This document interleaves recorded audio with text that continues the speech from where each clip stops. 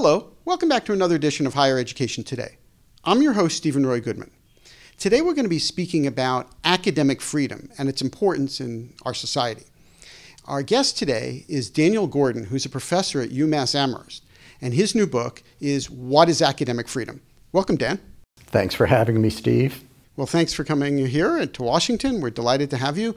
Um, can you tell us a little bit about what is academic freedom? Uh, we talk about it, we hear about it, but what is academic freedom? Sure. In a nutshell, academic freedom is the right of professors to do research and to teach in, as they wish. It protects professors from outside interference, like from governors, legislators, and public opinion.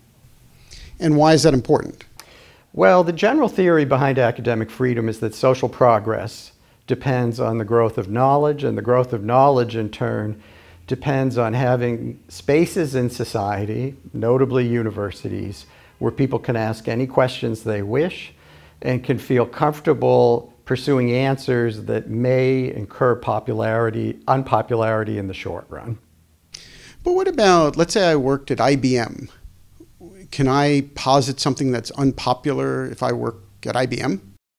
Well, IBM produces business machines, and um, that allow that requires a certain degree of creativity on the people who work there, and they need some freedom to do that.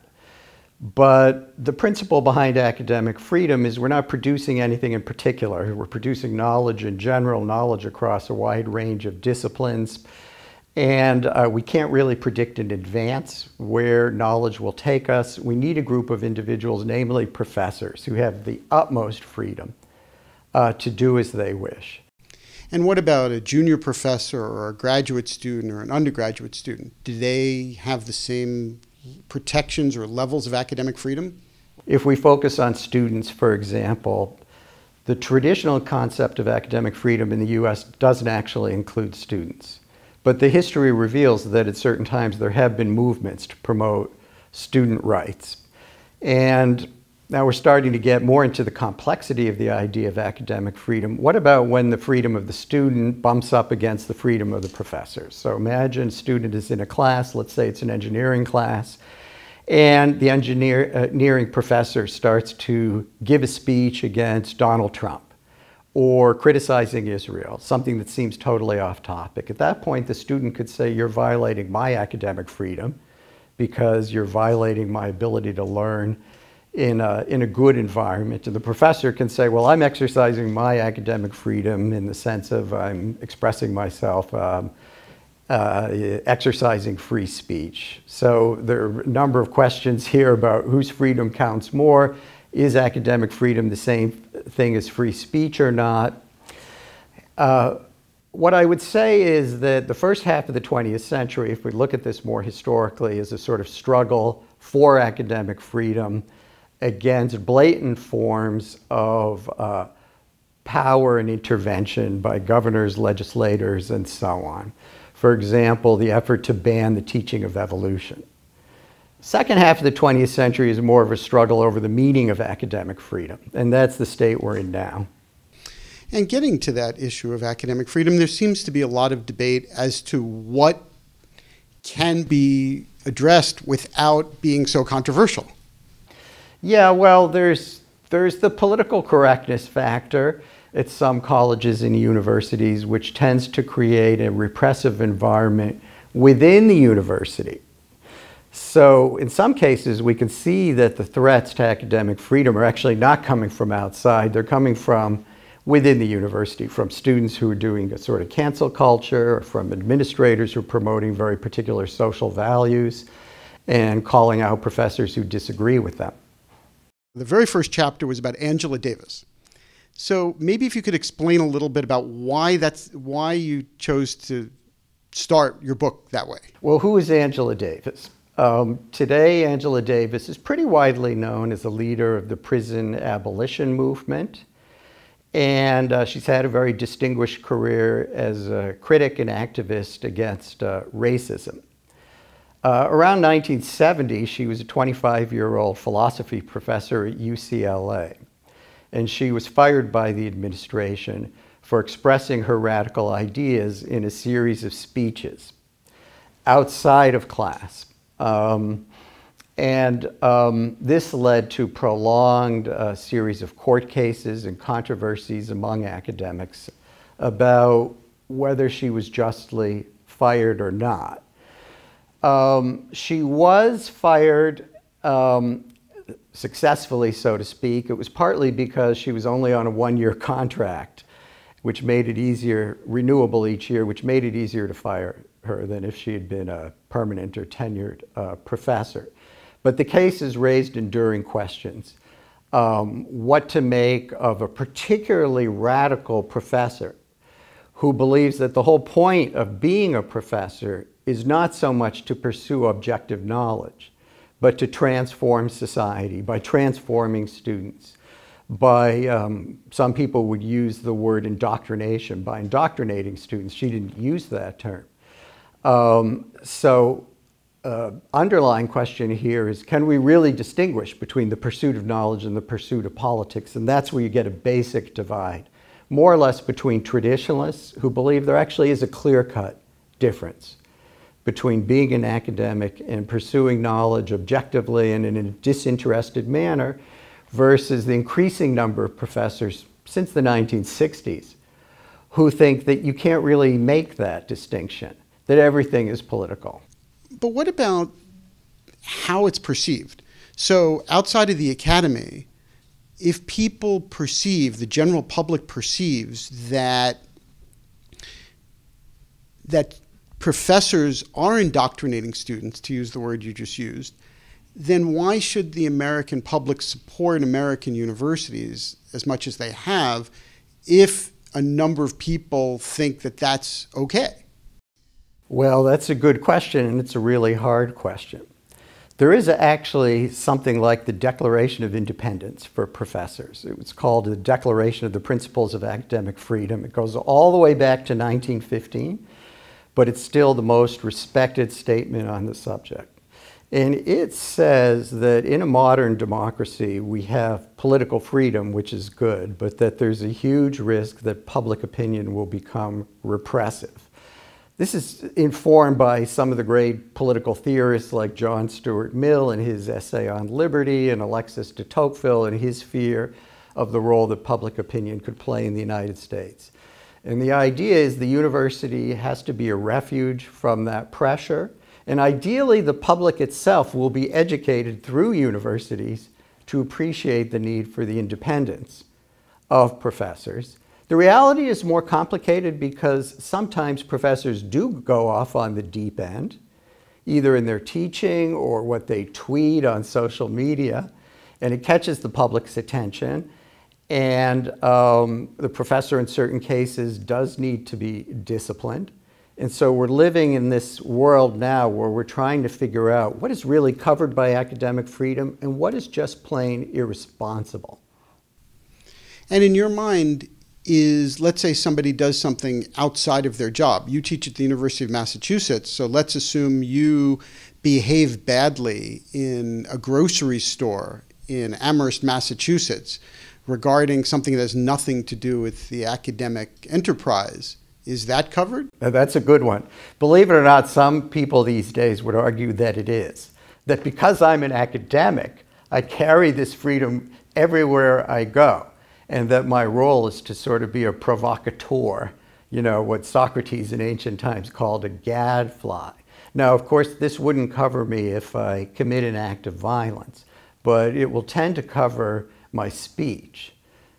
There is a contrary view, which I lean to myself, which is that the academic freedom is really designed to protect me when I'm engaged in specifically academic activities like teaching my students in my classroom. I'm the one who gets to grade their papers, uh, not the governor of Massachusetts. I'm the one who decides what courses I'm going to teach. If I'm writing a te textbook on American history, I decide what the table of contents will be. When I'm beyond this range of academic activities, it can become absurd to say I can do whatever I want because I'm an academic. To sum it up, you can take the phrase academic freedom and really parse it. Do you want to emphasize the word freedom, or do you want to emphasize the word academic? Alternatively, is academic freedom the right of academics to do whatever they wish, whenever they wish, or is, the, is it the right of academics to do a relatively small number of things that have distinctly academic features to them? At this point, it's about 50 50 if you put a microphone in front of the professors at a variety of universities. A lot of people simply haven't thought it through, so they're just giving you a gut reaction. And the result is the answers are all over the place. And finally, it's worth noting that there is no organization that officially defines academic freedom. There's one or organization called the American Association of University Professors. That's the closest thing we have. It was founded in 1915. It still exists, but it's not like the Bar Association or the American Medical Association, which can actually punish people or disbar people for violating its principles. It just issues documents and makes statements. But it too has changed its ideas over the course of time. It originally took the more professional conception of academic freedom, which is it's limited to very intellectual and academic activities on the university. Now it tends to equate academic freedom with freedom of speech. A kind of super right of freedom of speech given to professors. What about other countries? Is this the reality in other countries as well? Well, there, there are whole parts of the world that don't have academic freedom. And you can see this plainly in certain parts of the world where the government will punish people who promote democratic ideas or even have students read pro democracy authors uh, just to be better informed. So that's uh, forbidden, you know, in large stretches of the world. We're if we're talking about um, the so-called Western world, uh, North America, Europe, other countries influenced by them, such as universities uh, in India, uh, South Africa, uh, people will recognize the term academic freedom. But I think the United States um, is the country which has the tendency to take any right or any freedom and test the limit, push the boundary. Why can't I do this? Uh, today, there are a lot of issues associated with um, what professors say on, on social media, and I think that would probably be strictly regulated in a lot of other countries. Social media are more strictly regulated in other countries to begin with. I wanted to get back to the issue, if I could, about the politics of this. So, I mean, obviously, you're an expert in this subject, but if in fact there's a, this lively debate that's going on, I'm not sure that the American public is really uh, paying attention to this lively debate. They're only seeing the larger than life cases that are in the newspaper or on social media. So they're not really debating, you know, the nuances of academic freedom. They're saying, well, this is crazy. This professor is saying something that's so far out of the mainstream. Yes why are we spending millions and millions and millions of dollars to support this? Well, I'm not yet convinced that the public is not attuned to what the real issues are. I mean, a, real professor named Ward Churchill, shortly after 9 11, published an article online in which he attacked the, the, the victims of 9 11 who were working in the World Trade Center and basically said they deserved it. Okay? And um, the governor, uh, this was Colorado, um, was all over this and urged the university uh, to fire him. And this became a protracted uh, court case. Um, so on the one hand, and, and the public was, was into this. Um, this was featured on many television programs and written up in newspapers. And, and I think the case does encapsulate, I mean, it's unusual, but it does encapsulate some of the basic dilemmas of academic freedom. On the one hand, what he said was inappropriate, grossly inoffensive, grossly offensive, poorly timed, and just kind of dumb. On the other hand, he was trying to draw attention to American colonialism and the hatred that the country has allegedly inspired in the Middle East and that can lead to acts of terrorism against the United States. Now, I don't lean in that direction of analysis, but he is a specialist on colonialism and, and um, uh, the misdeeds, let's say, of American foreign policy. And so he was expressing himself with some expertise, at least in the background, um, if not sort of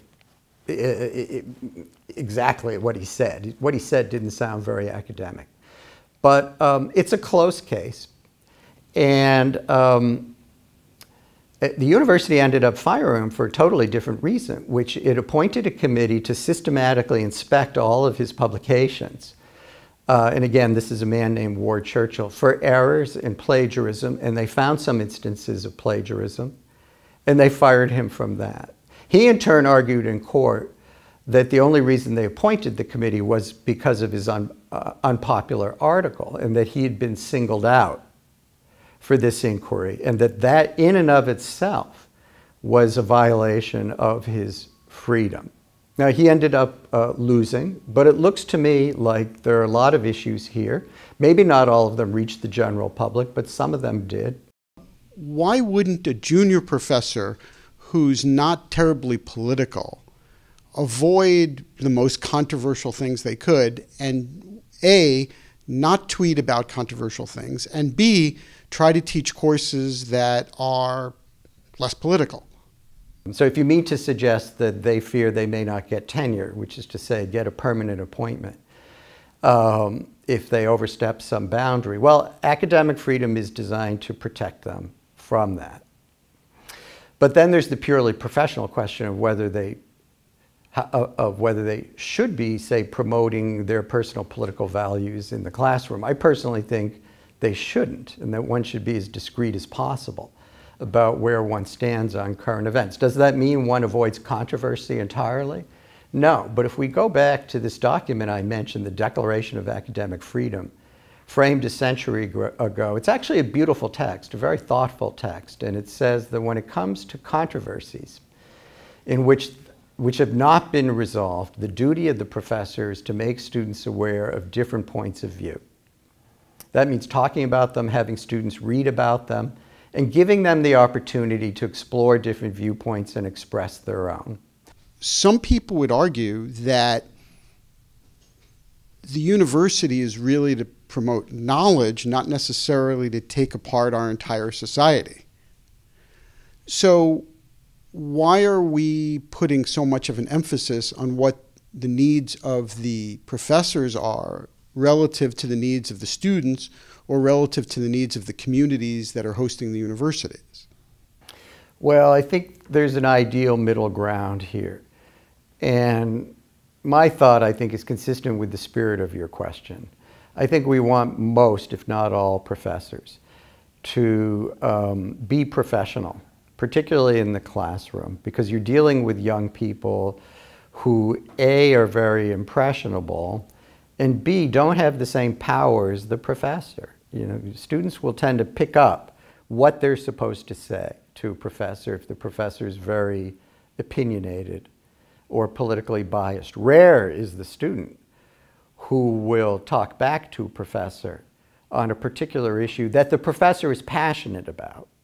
And extremely rare is the student who could frame a criticism more generally, like professors aren't supposed to be doing this. You know, tell us, you know, what the state of knowledge is, not how we should change the world.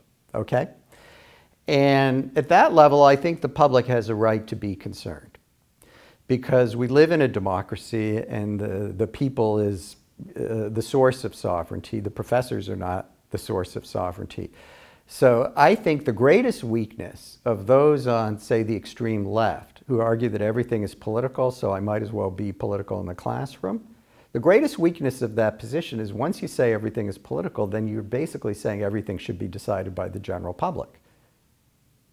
The original theory of academic freedom is some things are not political, they're based on expertise, like theoretical physics. The public should not be telling people or pro prohibiting professors from exploring in this field and sharing their conclusions with professors. And it's only one step away to evolutionary biology. That's a matter of professional expertise among biologists. So um, uh, there you have it. I think one problem, though, is even if we agree, as you and I seem to agree, that there really is a distinction between knowledge and politics, how do you enforce it? Who enforces it? You can't punish a professor every time a student is offended by something a professor says. My religious uh, sensibility was offended by what the professor says. The professor offended my, my political beliefs. And students will sometimes misunderstand professors. I say teach a course on the history of political ideas, and I want students to be familiar with the most influential ones. So I have them read Karl Marx, The Communist Manifesto. There will inevitably be a student who thinks I'm promoting communism by having them read the manifesto. Now, over time, I think I can explain to students and make them see that that's not the case, but imagine that such a student makes a complaint, it gets some traction in the general public, and, and before I know it, you know, people are, are, are portraying me as, uh, as a highly biased professor. So um, one challenge here is to come up with a process. And uh, many, us, many of us believe that every university should have an academic freedom committee consisting of professors to look into these cases. So, at your university, is there such a committee? We don't have a committee. We happen to have a unionized faculty, and so I pay union dues, and one of the benefits is the union will go to bat for me if I fall under fire for practically any reason. So, for all practical purposes, it becomes a kind of academic uh, freedom committee. But what it won't do is discipline me if I violate professional norms. As a, as a union, it's there to protect me. It's not there to censure me. As I envision an academic freedom committee, it would do both. It would tell a professor when the professor has gone too far. It would tell the engineering professor, don't give long political speeches in the classroom. That's just not about engineering. That's not what the students are paying for. That risks alienating the public. It has all kinds of bad consequences. And do you see a distinction then between a public university and a private university in that regard? Wow, that's a good one. And maybe a reason you ask the question is because when it comes to free speech, there actually is a difference. The US Constitution gives special protection to people in state organizations. Uh, the First Amendment says Congress shall pass no law abridging the freedom of speech, and over time this has been applied to states, local governments. So the University of Massachusetts would be a case in point. So if the university administration tried to stifle my academic freedom and is reacting to something I say in class, I am I could evoke freedom of speech as well as academic freedom, and that's going to make it tougher to discipline me than if I'm at a private college. I think overall, though, it's we're in a state now or a condition now where every college and university, whether it's private or public, has to become clear about what it means by academic freedom because, as I said, there's no organization that's really resolving these issues for everyone that has a power of enforcement. And I think what I really want to see happen and what I've tried to promote with my book, which traces the history of debates about academic freedom, what I want to see happen is simply a higher level discussion of these issues at each and every campus. Rather than people automatically assuming that academic freedom means that uh, that a professor can say anything um, or you know, automatically jumping on the case of a professor who violates the sensibility of uh, politically correct people. We just need a better conversation about this topic. Well, that's why I'm glad we're having this conversation. And let's expand it a little bit, if we could, to high school students and high school teachers. What about high school teachers who are teaching tough subjects that are controversial, like history or, or ethics? what protections are there for high school teachers? So I will tend to see a difference between being a professor and a high school teacher. And I begin by illustrating that by going back to uh, the theory of evolution again. So in the 1920s, several states banned it. And if you look at the, um, the laws, they actually include universities. Now, I wouldn't defend the banning of evolution in high schools, but I think the banning of evolution in universities is patently more absurd because to determine whether the theory of evolution is even true or not, we need academics, we need biologists and others to explore it and to share their findings with their colleagues and with students to bring university students into the process of that exploration. High school is a little bit different. I talked about university students being impressionable, high school students even, even more so. And I think there's more scope to regulate what high school teachers teach and how they have to teach than there is at a university. In other words, I agree with the proposition that a university should have the utmost academic freedom, whatever it actually means. High school teachers less so. However, there are court cases which focus on high school teachers, say, who have been fired merely for belonging to a certain political party. That's not acceptable. High school teachers fired not for trying to indoctrinate students, but simply drawing students' attention to certain controversial issues. I think in certain subjects like social studies and history, that's what they're supposed to do. Is there anything else that you would like to say to a Higher Education Today audience before we say goodbye that I didn't ask you about academic freedom? Well, if people are up for doing a little reading online, I draw your attention to the 1915 Declaration of Academic Freedom. All you really have to do is Google those words or words like them. It's a readable, fascinating document, and I think it makes a really solid point when it said there's no rights without responsibilities. And it starts to outline some of the responsibilities and not just rights associated with academic freedom. I mentioned one, and I'll just reiterate it, that when you're teaching a super controversial topic, you expose students to different points of view, you, and you don't just summarize them in your own words, but you let people speak for the different point of views, either by bringing in guest speakers or having students read them. Well, fair enough. Thank you very much, Dan, for making the trip down here, and thank you for coming on the show. Thanks so much for having me, Steve. Well, if you would like additional information about Daniel Gordon at the University of Massachusetts, please go to umass.edu. If you'd like to send to me send a note to me at the show, please go ahead and do so by sending an email to highereducationtoday at topcolleges.com. And thank you for watching. We will continue to bring you quality discussions about important matters in today's college and university world. I'm Steven Roy Goodman, and you've been watching Higher Education today.